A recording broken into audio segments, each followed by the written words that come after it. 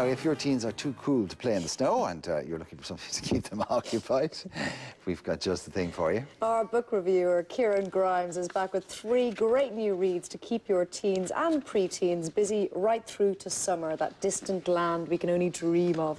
But right now, we're talking about good reads. Kieran, what have you got for us? Well, there are several new authors to look out for for 2009, and also um, a series of books. And I suppose the first one, um, it's it's um, to do with the Twilight series by Stephenie Meyer, and it's um, Robert Pattinson, True Love Never Dies. And the reason why I've decided to review this um, is.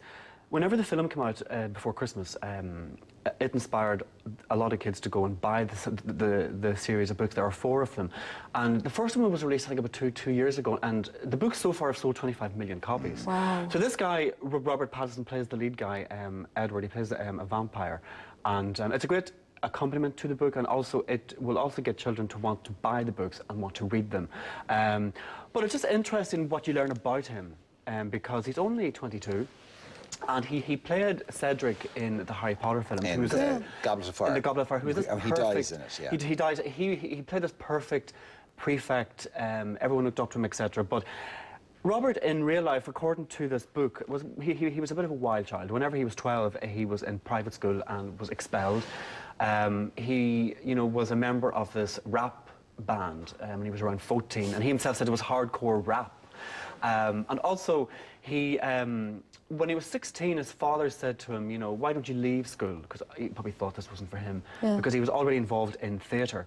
And he said, no, okay, look, I'll stay at school for another couple of years. He got a role in, in a TV film, and so he paid his own fees for the, for the two years. And his dad said to him, okay, if you get good grades, I'll give you that money back. But he didn't get good grades. He, you know, get, but exactly. But anyway, he got a role in this television um, movie, which brought him to the attention of, you know, agents. He got a role in the play, which he was sacked from before the opening night. So all this buzz around this, uh, around him, uh, grabbed the attention of the director of uh, the Harry Potter Goblet of Fire, which is how he got the part in that.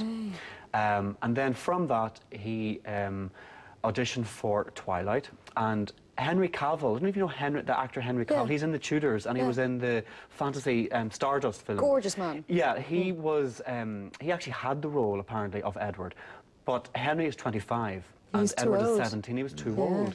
Plus, also, he doesn't have his cheekbones, does he? Well, and his, his, his kind of youthful look. For any teenage girl who went to the movies and fell It's even more in love with the character, this book is a must-buy. Exactly, and Yeah. it will encourage them to read the Stephenie Meyer um, series as well. So and whether you've read the Stephenie Meyer series or not, this is a winner. Exactly. Yeah. I don't exactly. think they read the Stephenie Meyer series once. In fact, Sophie's on, I think she's she's on her fourth go around now at this stage. She just reads one to the other, Wow. then starts all over again. that's but her, her and her But generation. She, she would love this book. Oh, listen to this And there's a po- Pollard there's a poster of him up on the wall already. there's a Pollard poster He is, in there. I know so I shouldn't be saying need it because he's like so young. There's, there is he's gorgeous. one of the most alarming moments of my, my parenthood was sitting beside my 10-year-old daughter as he walked on the screen and she went, "Ah." It's not really what you want to hear from your daughter because you go, oh God, you're never getting out of the house, not until you're 30. I'll pay you not Go to on, get here, take that home, Sophie. No, I can't do that. Can I do that? Of course you can. There you oh, go, there you go. Oh, I'll be a hero. There's I'm so many... sacrificing it. I wanted the no, poster, no. but she can have it. She deserves it more. He's too young for you. I know he is. I have to give up on that house. Okay, Kieran, Okay. next. Okay, next. Um, well, The there's 39 clues. the thir- this is really interesting. The, um, this is a series of 10 books. And um, they're kind of written by a guy called Rick Riordan. Well, Rick has developed the storyline, and he's very famous for the Percy Jackson and Olympian series, which, right, which, okay. which viewers will know. Oh, So it's a fantasy book. But he has come up with the storyline for the 10 books, and him with four other authors are going to take it in turn to write them. Um, and what they are, they're interactive. They're um, as I say, 10 books, but each book has got a, um, a collection of six cards. So you collect cards, you go online and you can enter, um, you can try and solve clues, you can win money, up to a million um, American dollars. Um, You can win money. well, you, oh yeah, you can actually win money. What the story is about, the, the, um, the first book, um, The Maze of Bones, sets the scene. It's, it's about the Cahill family, and the grandmother dies. She leaves a will to her descendants. Now, there are four branches of the Cahill family, and what she says to them is, you can each have one million dollars and walk away, or you can have a clue. And there are 39 clues, and if you find these 39 clues, solve, f- um, kind of interpret what they mean, you will become rich beyond your wildest dreams. So I think uh, there's, um, so some of the, um, her, her, her descendants to decide, we won't take the million dollars, we'll, we'll embark and try and find these clues.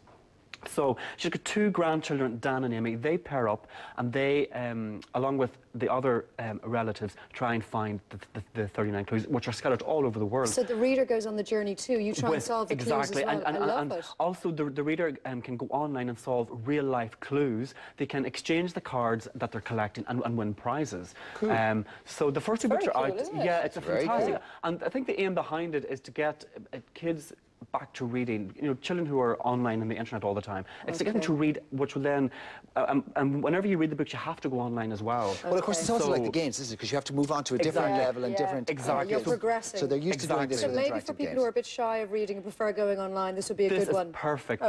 because it, it, it will get them to Good read. choice, Very So- quickly, Kieran, Yeah. we've, uh, yeah, we've Numbers by um, Rachel Ward. This is fantastic. If you look at the cover of that book, basically it's about a 15-year-old girl. Whenever she looks, Oh, very clever, yeah, isn't it? whenever she looks at people in the eye, she, the, sees the- numbers. the date of their death. She seems the day. Oh, She sees the date of their death. Exactly. And how it starts off, she is in London w- w- with this uh, with her friend called Spider, and they're queuing up to go on the London Eye. She takes a, a glance behind her at the queue, and she sees the same death, date of death on all these people's eyes, So she knows which is going to which is that day. so she knows something major. She knows something major is going So to she knows, happen. don't go on the wheel. Well, I'm not, I'm not going to give it away, but it's a fantastic beginning, a, a- a premise to a book. And this, you, you can see the date that, that people's died. You can see that becoming a film, can't But you? it's a teen horror movie. That's the film poster. yeah, I mean, totally. you'd go and see that based on that. It's and she's a brand new author, and she's also um, the same company that discovered J.K. Rowling.